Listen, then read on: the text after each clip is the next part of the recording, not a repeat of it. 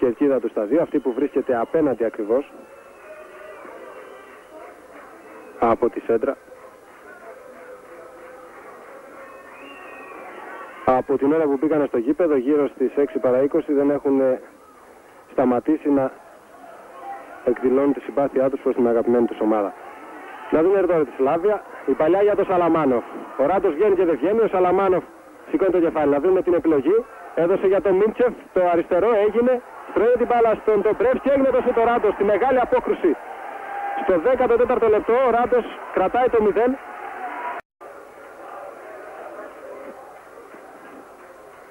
Καραπιάλης εκμεταλλεύεται το λάθος από τον Τοπρεύσκι. Στριφογυρίζει ο Θεσσαλός και κάνει την καλή παλιά τρύπα για τον Καραταίδη. Η Σέντερ θα βγει γρήγορα, ο Σαπάνης πάνω στη φάση. Ο Στράφκοφ όμως έπεσε στα πόδια του Ναουσέου, μπλόκαρε. Ένας από τους μεγαλύτερους παίκτες που πέρασαν ποτέ στην ιστορία του βουλγαρικού ποδοσφαίρου. Να δούμε όμως την μπαλιά τώρα του Καραπιάλη για τον Ήβιτς. Ο Σέρβος το τετ α τετ. Βγήκε ο Στράφκοφ, ο Ήβιτς. Φαίνεται να ακούμπησε την μπάλα ο Στράφκοφ. Αυτό που έδωσε ο Ντάρκιν ήταν το out. Ήταν όμως η καλή ευκαιρία για τον Ολυμπιακό. Και το κόρνερ τώρα για τη Σλάβια. Το Μπρεύκι ο εκτελεστής. Καλοκτυπημένο πήδηξαν πολύ. Θα πιάσει κατευθείαν ένα σούτ το Ντομπρεύσκι.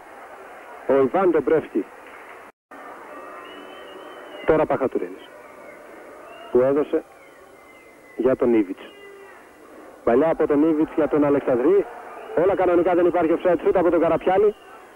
Ο Θεσσαλός ξανά κάτοχος της μπάλας σου. Τώρα από τον Καραταίδη.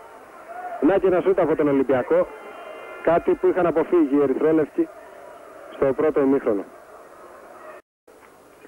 Πάντως ο Αντρέγιος Γιουσκόβιακ θα πρέπει να περιμένει κι άλλο για την πρώτη του με τα χρώματα του Ολυμπιακού. Δημητρόφ βρίσκει χώρο, δεν κάνει το σουτ, έκανε την μπαλιά για τον ε, Ντεμπρόφσκι και είναι επικίνδυνα τα πράγματα. Ο Ράτος με τις γροθιές έκοψε και ολοκλήρωσε την απόκρουση ο Νταμπίζας. Η Σλάβια όμως επιμένει με τον Δημητρόφ. Ο κίνδυνος πέρασε όμως. Όλα αυτά βεβαίως ε, ανήκουν στη θεωρία γιατί στην πράξη τα πράγματα αποδειχθούν διαφορετικά. Για να δούμε.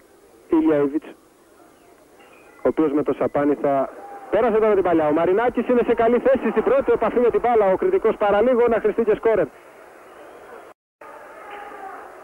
Δεν ξέρουμε αν οι δύο αλλαγές του Κότσε θα δώσουν τη φρεσκάδα στη Σλάβια. Η Σλάβια όμως είναι κουρασμένη και αυτό μπορεί να το εκμεταλλευτεί ο Ολυμπιακός. Ο, ο Ιβιτς σε θέση βολής θέλησε να κάνει το γυριστό.